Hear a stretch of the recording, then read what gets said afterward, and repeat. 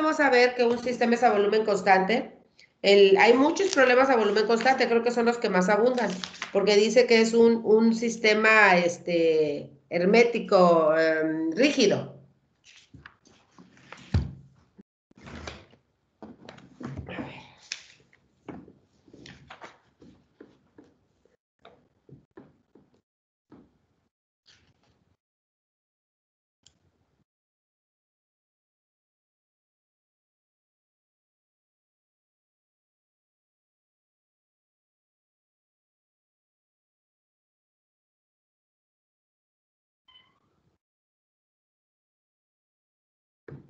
Por ejemplo, el 435.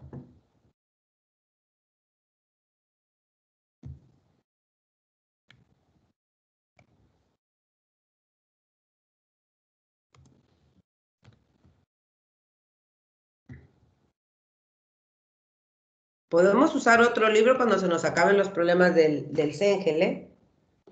Dice, un recipiente rígido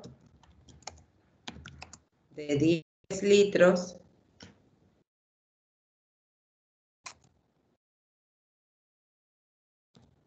contiene inicialmente una mezcla de agua líquida y vapor a 100 grados Celsius.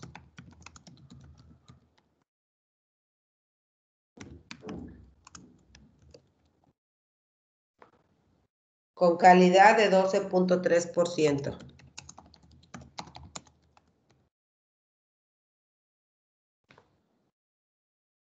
Luego se calienta la mezcla hasta que su temperatura es de 150 grados Celsius.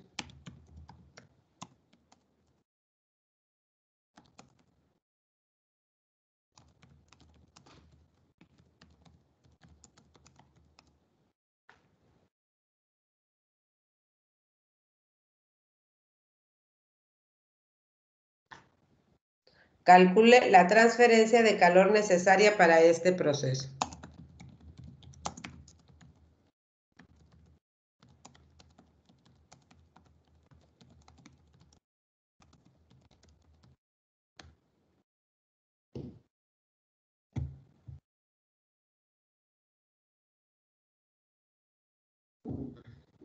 ¿Ok?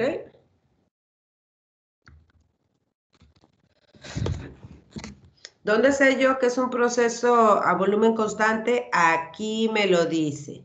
Aquí. Dice, un recipiente rígido. ¿Qué quiere decir? Que si el recipiente es rígido es como si fuera un tanque, un termo, o sea, un volumen definido. El volumen no puede cambiar. El recipiente tiene 10 litros, entonces el volumen total es 10 litros. Dice, contiene inicialmente una mezcla de agua líquida y vapor a 100 grados Celsius con calidad de 12.3%. Luego se calienta la mezcla hasta que su temperatura es de 150 grados Celsius. Calcule la transferencia de calor necesaria para este proceso. ¿Ok? Vamos a ver este, qué proceso es, qué ocurre aquí. Vamos a hacer un diagramita.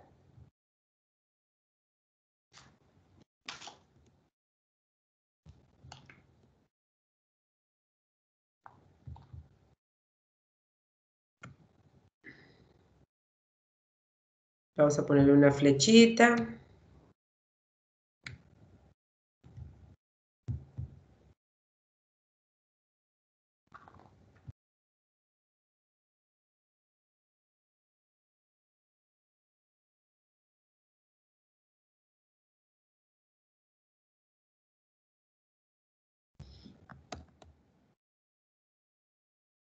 ¿Sí? ¿Cómo se llama el proceso?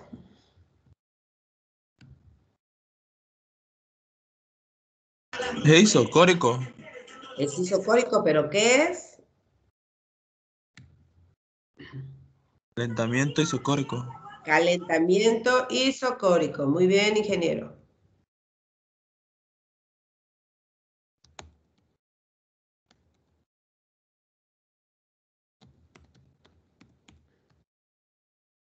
Un calentamiento isocórico. Aquí se lo vamos a poner. Eso es lo que sucede.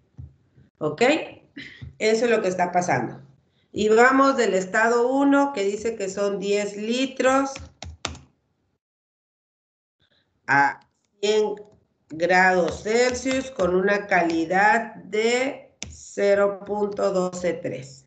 Estos son los datos que tenemos iniciales y es de donde vamos a partir. ¿Qué tenemos acá? Dice que se calienta. ¿El volumen va a cambiar? No. No, el volumen es constante. El volumen es constante porque el recipiente es rígido. Seguimos teniendo los mismos 10 litros. La única diferencia es que ahora tenemos 150 grados Celsius. ¿Ok? Y me piden calcular la transferencia de calor. Pregunto, ingenieros, ¿el calor que voy a calcular va a ser positivo o va a ser negativo?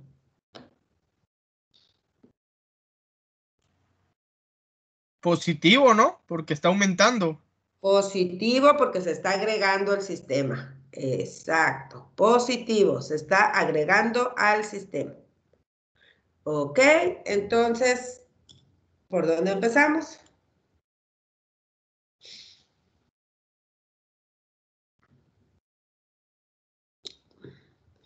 Para calcular Q, necesito calcular delta U.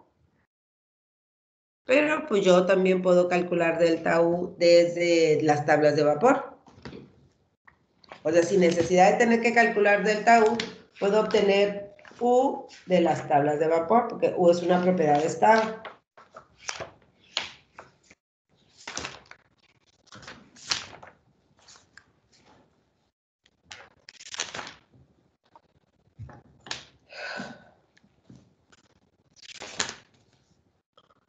Entonces empezamos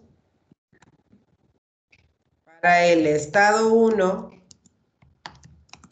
de la tabla A4 con 100 grados Celsius y X igual a 0.123. ¿Por qué me voy a la tabla 4? Porque desde el momento en me está dando calidad, desde el momento en que me está dando esta calidad, ¿en qué fase está mi, estado 1? ¿Qué es?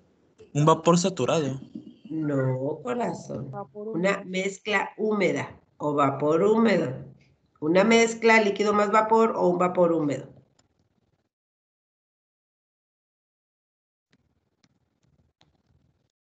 Entonces, necesito para calcular U, porque yo tengo los valores de U, puedo obtener mis valores directamente de la tabla. Digo, esta es una forma en la que resolvemos el problema. Puedo decir que U, voy a calcular U, pero yo necesito UF y necesito UG de la tabla, y estas vienen en minúsculas. UF y UG.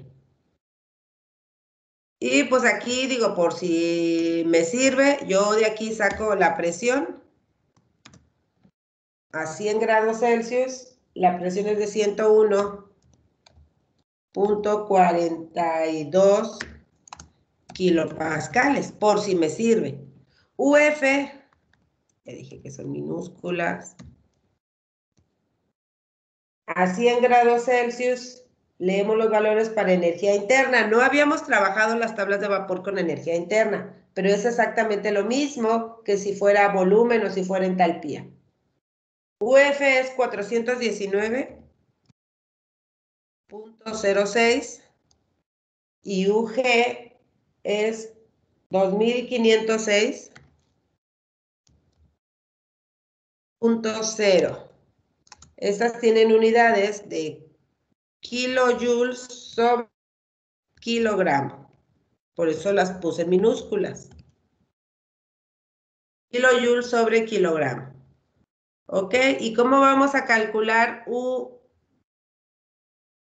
U este, U1 o, o la U total aquí? ¿Cómo la voy a calcular? Pues voy a decir que U es igual y sigue siendo minúscula, a mi UF más X por UG menos UF.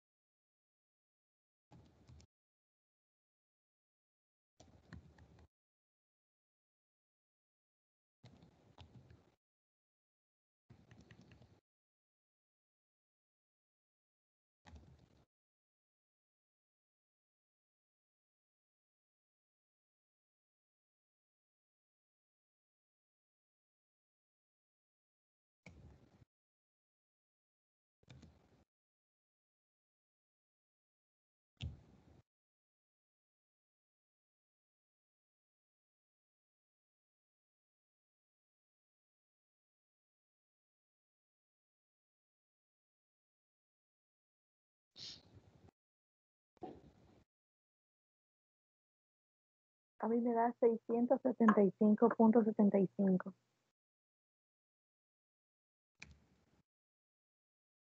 kilojoule sobre kilogramo. Esperemos a ver si a sus compañeros les da lo mismo.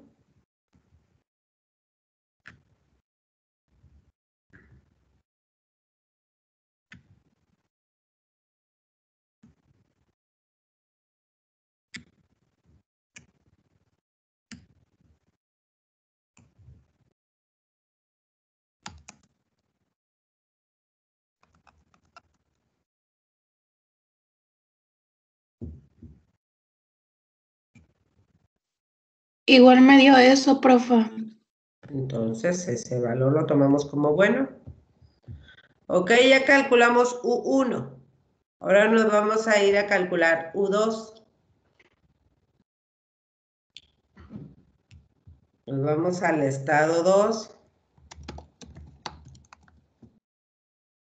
Y en el estado 2, ¿qué datos tenemos? Dijimos, tenemos 10 litros, los mismos 10 litros, pero lo tenemos a una temperatura a 150 grados Celsius y 10 litros.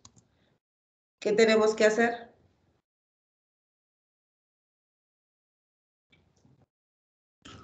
Pues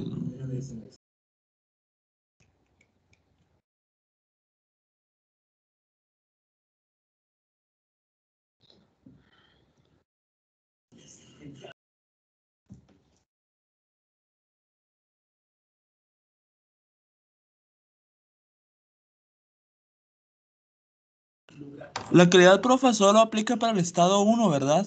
¿La qué? La calidad solo aplica para el estado 1.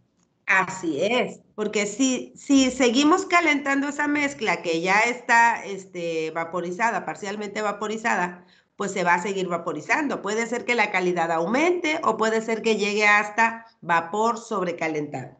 Como ya lo empezamos a resolver usando tablas de vapor, pues vamos a continuar usando tablas de vapor. Yo necesito, con los datos que tengo en el estado 1, necesito calcular el número de moles para calcular la masa.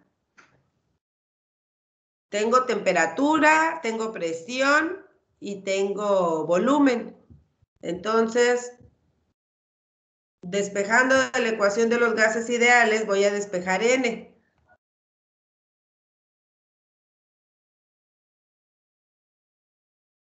N va a ser igual a PB entre RT.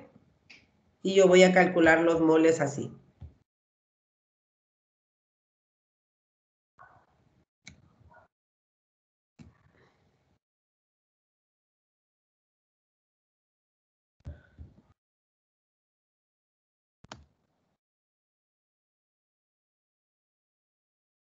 Entonces sustituimos el primero que es P. P vale 101.42 kilopascales. Vimos B que vale 10 litros. Sustituimos T que vale 100 grados Celsius en Kelvin sería 373.15 Kelvin, ¿verdad? Y ahora más me falta que me den un valor de R que sea este adecuado para las unidades que tenemos, en litros kilopascales.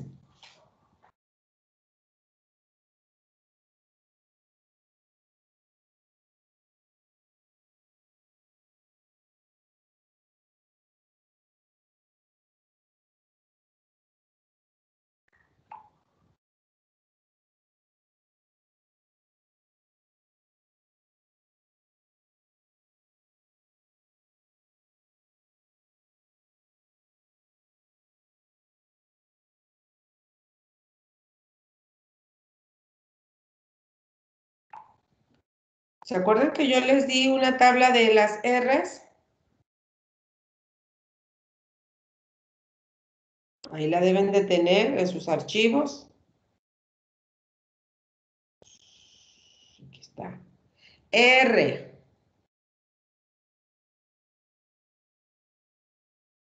En kilopascales.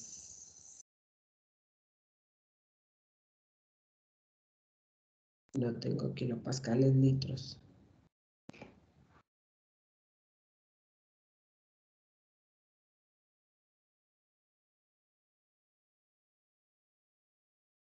Tendremos que convertir los litros a metros cúbicos, profe. ¿Qué? Sí, hay que convertir los 10 litros a metros cúbicos porque no hubo R, ¿verdad? Tengo kilopascales metros cúbicos sobre kilomol Kelvin.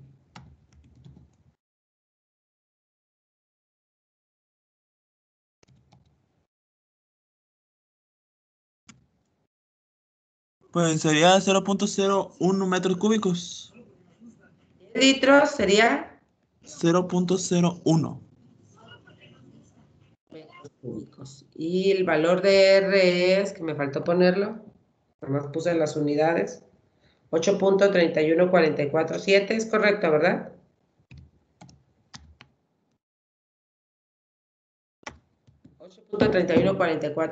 dos. Ahí está.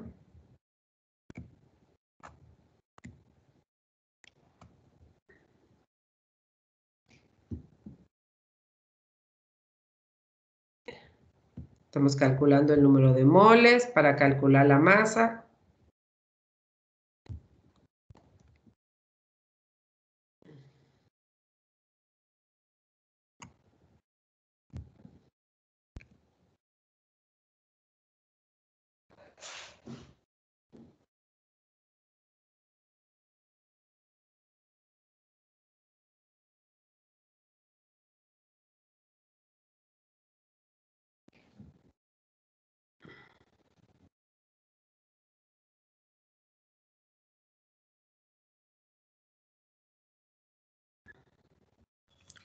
Profa, a mí me da 0.0003.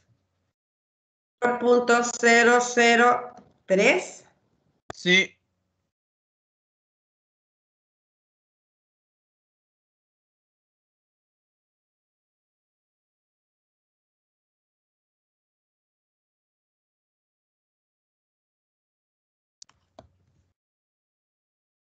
Muy poquito, ¿no? Bueno, es que hay más dígitos, pero nada más tomé cuatro. No, pero aún así es muy poquito.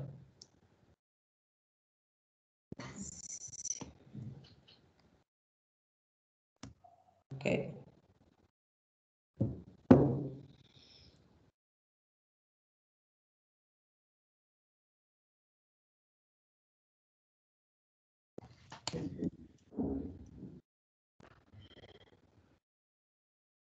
Y ahora para calcular la masa, si moles es masa entre peso molecular, Pues entonces masa es igual a moles por peso molecular. Sería igual a 0.000, tres ceros, ¿verdad? 3 kilomol Sí, multiplicado por 18 kilogramos sobre kilomol. Ahorita vamos a ver si está bien, si no está bien. Ahorita vamos a hacerlo por otro procedimiento y nos tiene que dar el mismo valor. ¿Ok?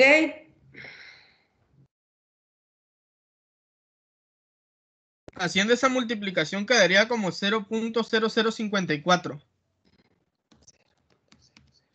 ¿Usó todos los dígitos que les había dado, que le había dado anteriormente?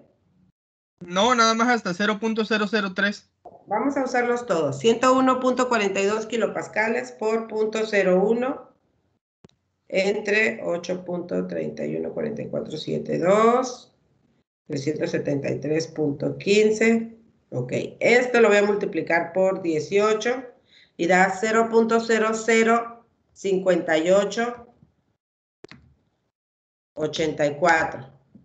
Si es que sí cambia bastante, ¿eh? Sí tiene un bastante... eh, ahí las unidades sí afectan. Por eso siempre hay que usar por lo menos cuatro cifras significativas. Y acuérdate que esos ceros que están antes del 3 no son significativos. ¿Sí? Ok, profe, sí. Ok, entonces ya tengo la, la masa, ya puedo calcular el volumen específico. Todo esto es para calcular el volumen específico.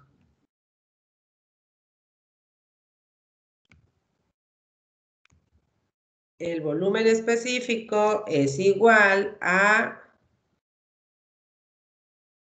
el volumen total entre la masa.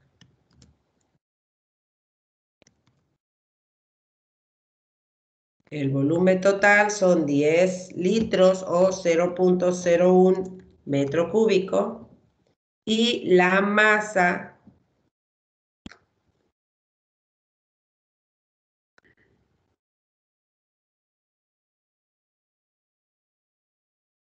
la masa es 0.005884 kilogramos.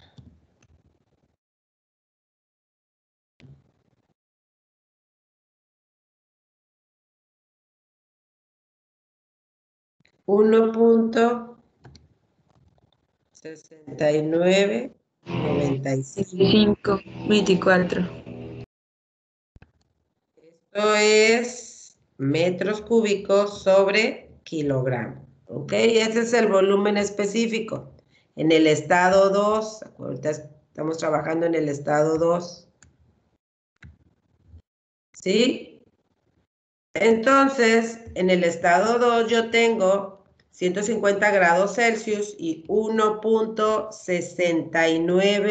1.699524 metros cúbicos sobre kilogramo.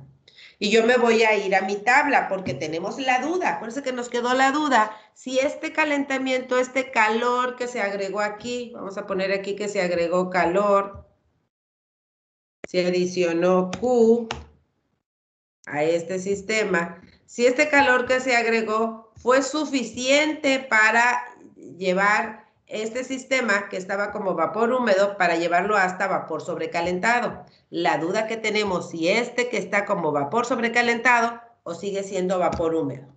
Entonces nos vamos a ir otra vez a la tabla A4 y vamos a comparar mi volumen con el BF y el BG. En la tabla 4, BF Estaría por encima de lo que es BF y BG. Ok, entonces en la tabla 4, como B es mayor que BG, entonces, ahora sí, si está por encima, ¿qué quiere decir? Va por sobrecalentado. Es vapor sobrecalentado. Muy bien, entonces ya la tabla A4 no me sirve. Me tengo que ir hasta la tabla A6.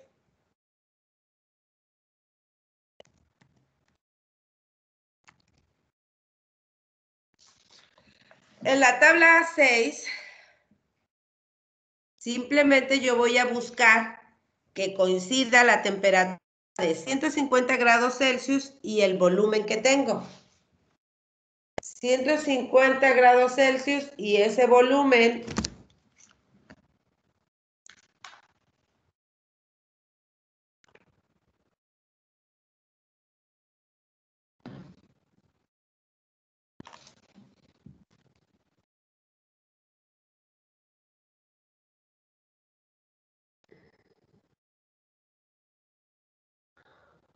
y me dice que está entre una, una presión de punto 1 y de punto 2 megapascales. Y hay que interpolar. Me voy a ir a otra hoja con esto para que hagamos la interpolación. Una preguntita. Y Es que en, en la diapositiva número 19, en donde están los kilogramos sobre mol, ¿en dónde salió ese 18? este 18 Eh. es el peso molecular del agua. Ah, ok, ok, gracias. ¿Sí? Usted pregunte, no hay ningún problema.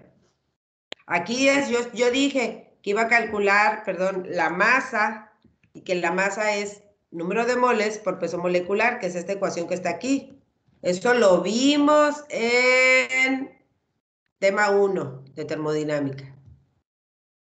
La masa es igual a moles por peso molecular, ¿ok? ¿Alguna Profa, duda? Me mande. ¿qué era, qué era UF? UF. UF es eh, la energía interna del líquido y UG es la energía interna del vapor. Ah, sí, gracias, profe. Es que esto yo lo vi en el tema 2, pero lo vi para volumen y ahorita lo único que le dije es que aplica lo mismo para energía interna y para entropía. ¿Ok? Entonces me voy al estado 2 porque voy a tener que interpolar. Voy a tener que hacer una interpolación porque no, no me da exacto. Me dice que voy a hacer aquí una pequeña tablita. De la tabla 6 a la temperatura es la misma, 150 grados Celsius. 150 grados Celsius, pero a una presión de 0.1 megapascal. Y dice que me da un volumen de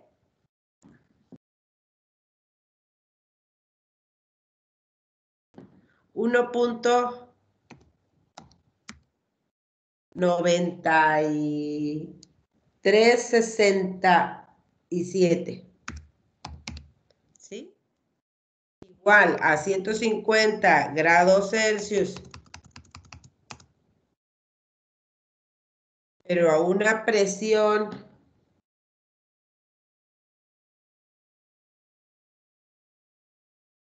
de 2 megapascales, y que es bastante la diferencia,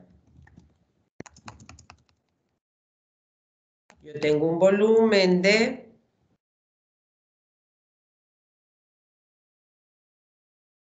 cero punto noventa y cinco. punto 9598.6 y ya de una vez voy a poner la energía interna porque es la que me interesa. La energía interna es de, en el segundo caso, 2577.1 y en el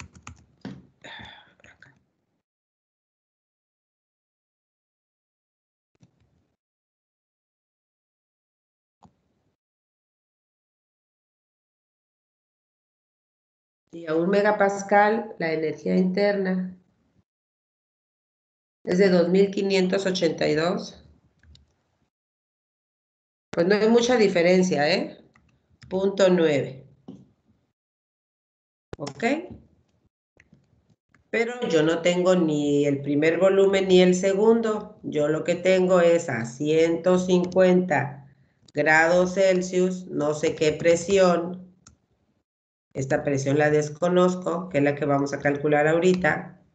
Y yo necesito este volumen que coincida con 1.699524. Entonces, ¿podemos, ¿podemos interpolar para calcular la presión? Sí, pero pues no me sirve. Lo que yo necesito es interpolar para calcular esta U. Con este dato, con, únicamente con estos datos de acá.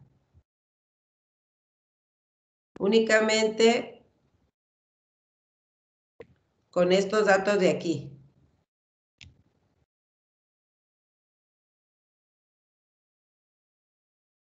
¿Sí?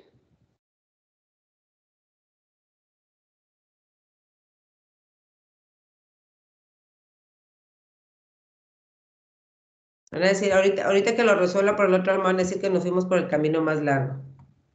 No. Interpolando.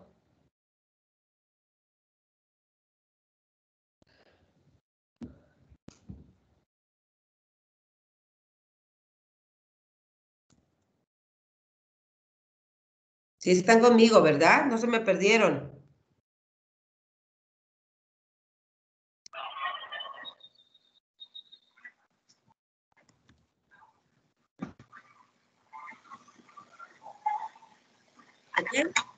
Interpolando encontramos el valor de U2.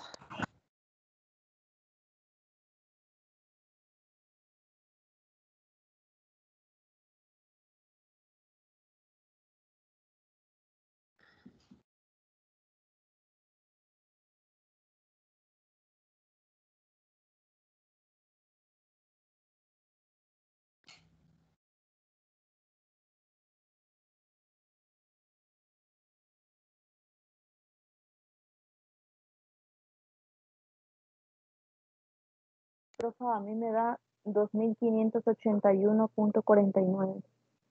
2581.49. ¿Qué unidades tiene? Kilojoule sobre kilogramo. Yo creo que está bien porque pues, es- está muy, muy, muy cerquita los, los valores. ¿Ok? Ya tenemos U2. ¿Qué me resta hacer?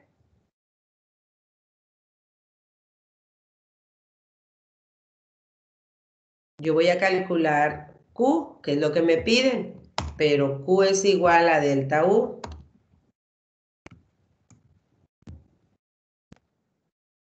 Q es igual a delta U y delta U es igual a simplemente la forma más sencilla porque es una propiedad de estado. Las propiedades de estado yo las puedo calcular así. U2 menos U1.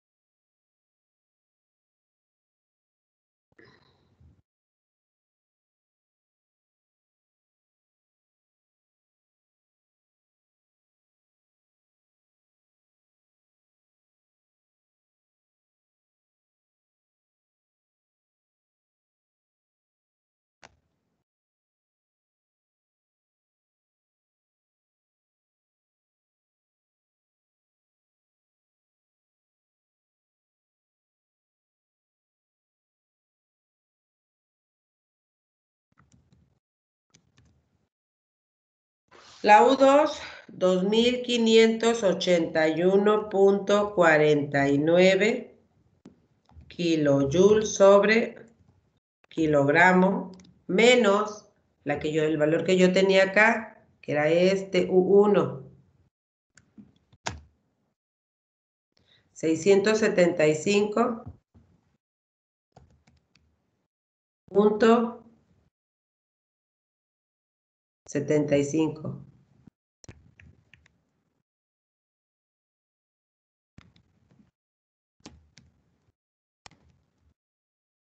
Kilojoule sobre kilogramo.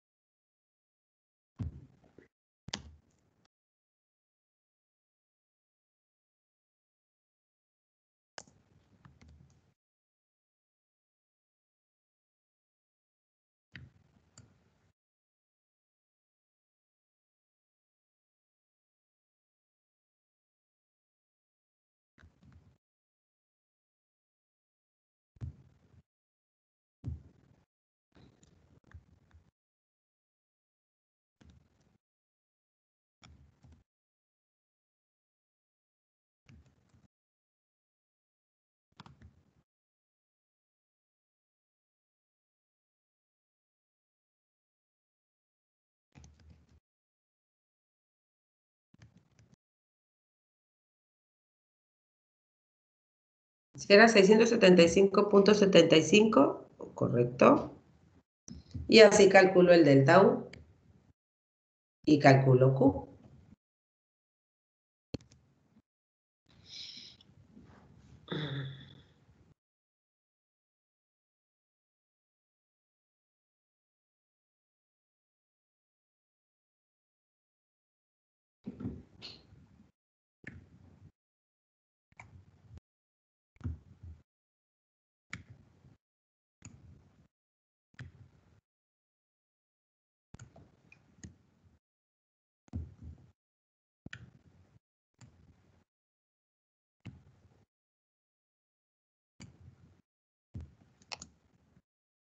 Da 1905.74, maestra.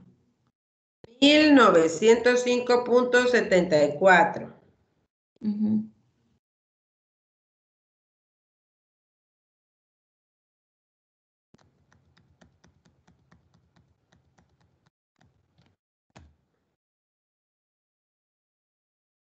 Ahorita vemos. 1905.74. ¿Ok?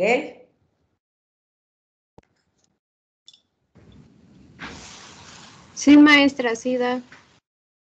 ¿Y cómo lo pasamos a? Este sería una Q minúscula. ¿Sí se acuerdan? Este sería una Q minúscula y este es un delta U minúscula. ¿Por qué? Porque está por kilogramos. ¿Cómo calculo el, en este caso el Q y el U total?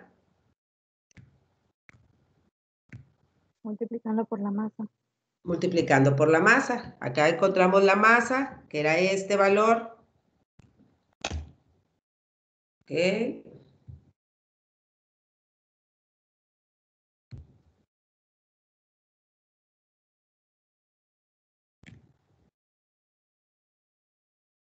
U total, que es la que me están pidiendo, es igual a MQ. Masa y por el valor de Q.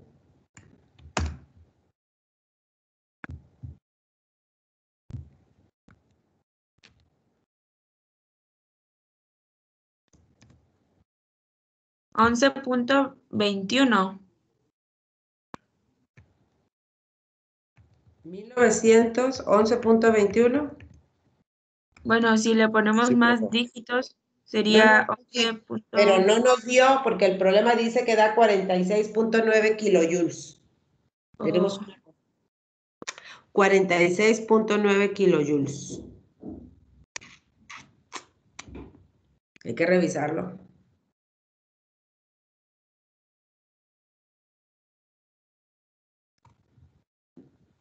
Profa, Ande. A mí la interpolación me dio otro resultado, pero es muy lejano al que dieron antes. No, el, el resultado tiene que estar entre 2582 y 2577, por eso yo lo di por bueno. La diferencia es ok. muy poquita, ¿sí? Eh, tiene que estar en este intervalo la interpolación.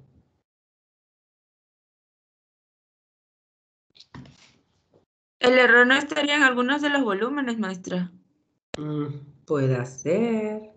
Hoy te estoy viendo.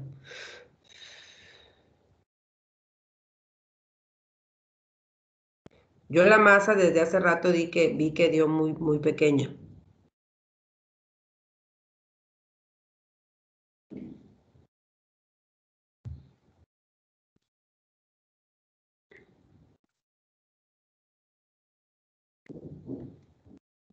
Profe, y la temperatura de 150 grados Celsius no se utilizó. Sí, ¿cómo no? Aquí, Mm. aquí está. Son los valores que sacamos de la tabla. Pero cuando calculamos la- el número de moles, calculamos el, con el de 100.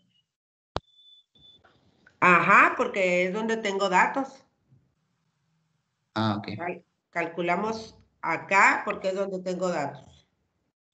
Ok, ok. Maestra dijo que, que en la masa fue donde tal vez podría estar muy mal. Bueno, podría Sí. Es que fíjese que a mí me Sí. da 5.4 por 10 a la menos 0.3. Y ahí le da 0.00500, bueno, 5.884. Vamos a revisar ese cálculo, ¿sí? 101.42 por punto 01 entre, pero yo lo revisé, 8.31447. Sí, a mí me da punto 0003268.9. Sí, profe, ya lo chequé y me da lo mismo.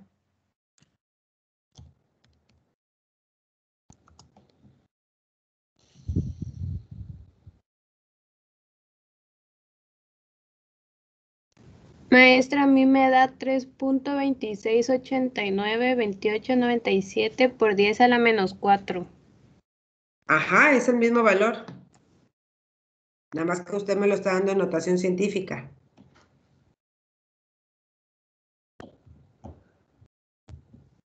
Bueno. Necesito, necesito que revisemos este valor porque no está dando lo que dice el libro. Lo vamos a hacer por el otro método. Aquí me va a dar kilojoules. Lo vamos a hacer por el otro método. ¿Sí? Eh, eh, no me va a dar tiempo. A ver.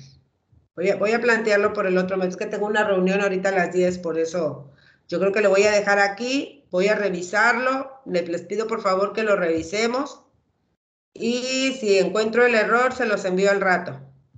¿Sí, ingenieros? Es que tengo, una, tengo la reunión de, de CIES. Sí, maestra, no se Vale. preocupe. Que tengan bonita tarde. Hasta luego.